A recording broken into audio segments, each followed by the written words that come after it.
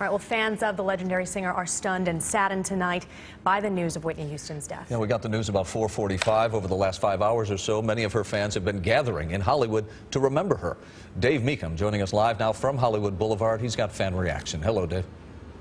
Oh, hello. And we were reminded tonight that Whitney Houston was raised around a lot of gospel music, and that came by way of a fan and a friend who was at one of these pre Grammy parties around the corner, and he played a little Amazing Grace for us. Take a look. A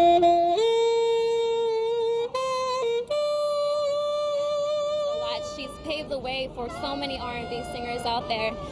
And, you know, we love Whitney. And that people really need to, yeah, we lost a great one. People really need to realize things, and it's sad she's only 48. And a star who at times was referred to simply as the voice, but along the boulevard, a star in her name during her lifetime was not to be.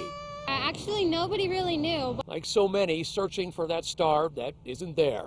She just a captivating voice, man. So yeah, that's what I remember most about her. And I had the opportunity to know her, and she she was a good person, good person, big heart, huge heart. I truly believe that the lights in LA will be a little dimmer tonight because of her death. And as far as that star, her team had the green light on that, just never set a date. In Hollywood, Dave Mecham, KTLA 5 News. All right, Dave, thank you.